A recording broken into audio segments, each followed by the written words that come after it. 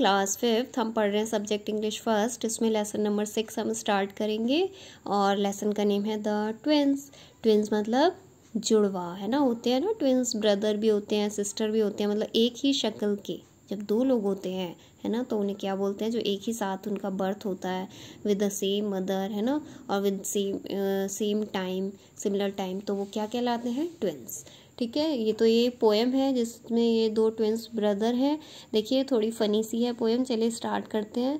In form and feature face and limb I grew so like my brother that folks got taking me for him and each for one another इसमें जो मतलब poet है, वही मतलब अपने बारे में बता रहा है कि मैं बिल्कुल फीचर से, है ना, अपने फेस से, मैं किसकी तरह बड़ा हुआ, अपने भाई की तरह है है ना? और हम एक दूसरे के साथ एक्चुअली में बहुत तरह से मिक्स हो चुके हैं। It puzzled all our kith and kin it reached a fearful pitch for one of us was born a twin yet not a soul knew which तो हम बहुत ज़्यादा, क्या है, हर चीज़ में बहुत ज़्यादा कन्फ्यूज़ हो जाते हैं ना? ट्विंस होते हैं तो कन्फ्यूज़ हो जाते हैं, समझ नहीं आता कि कौन कौन है। One day, to make the matter worse, before our names were fixed, as we were being washed by nurse, we got completely mixed. और एक्चुअल में हमारे साथ क्या हुआ कि हमारे नाम भी तब तक फिक्स नहीं हुए थे। और उससे पहले ही जब मतलब जब बच्चे पैदा होते हैं ना तो नर्स उनको एक बार क्या करती है धोती मतलब वो कराती है उनके कपड़े वपड़े चेंज करती है उन्हें वॉश करती है। तब हम एक दूसरे से बिल्कुल क्या हो गए मिक्स हो गए। And thus you see by fate's decree or rather nurse whim my brother John got christened me and I got christened him तो मेरा भाई जो जॉन था, वो मैं बन गया और मैं वो मतलब एक दूसरे में हम ऐसे बिल्कुल मिक्स हो गए ना कंफ्यूज कन्फ्यूज़न हो गई कि कौन कौन है। हमारे नेम में भी बहुत ज़्यादा कन्फ्यूज़न हो गई।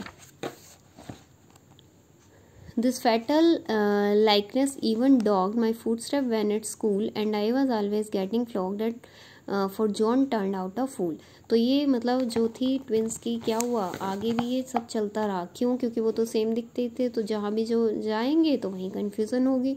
तो जब वो स्कूल में गए तो वहाँ भी ऐसे हुआ। उसने कहा कि मैं तो इंटेलिजेंट था तो कई बार में क्या हुआ, लेकिन पीटा जा चुका हूँ। किस वजह से? जॉन की वजह से। जॉन के लिए, क्योंकि टीचर उसे क्या समझ लेती थी? जॉन। जबकि जॉन कैसा था? पढ़ाई में थोड़ा फूल था मतलब पढ़ाई में अच्छा नहीं था तो उसकी जगह मैं ही पिट जाता था अपने भाई की जगह।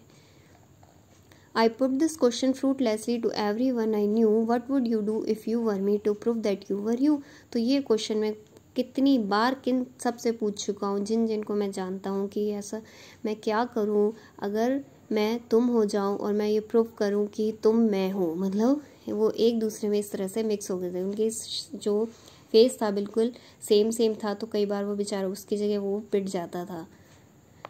Our close resemblance turned the tide of my domestic life और आगे जब वो बड़े हुए, उनकी जो फैमिली बनी मतलब जब उनकी क्या हुई, शादी वगैरह हो गई तब भी क्या हुआ, ये कन्फ्यूज़न चलती रही और somehow my intended bride become my brother wife तो जब जिस मतलब जिस ब्राइड से, जिस लड़की से मैं शादी करने की प्लान कर रहा था, वो एक्चुअल में मेरे भाई की वाइफ बन गई। वहाँ भी इतनी ज़्यादा कन्फ्यूज़न हो गई।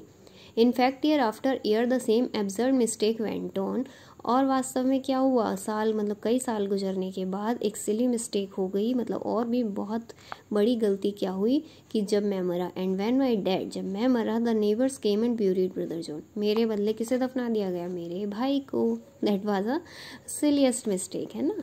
तो आ, बहुत ज़्यादा इन दोनों में कन्फ्यूज़न हो जाती थी। क्यों? क्योंकि वो दोनों ट्विंस थे जुड़वा थे। तो आप स्टूडेंट्स ये दोबारा से रीड करेंगे, एक बार पढ़ेंगे और उसके बाद वर्ड मीनिंग और इसके राइमिंग वर्ड्स अपनी नोटबुक में करेंगे।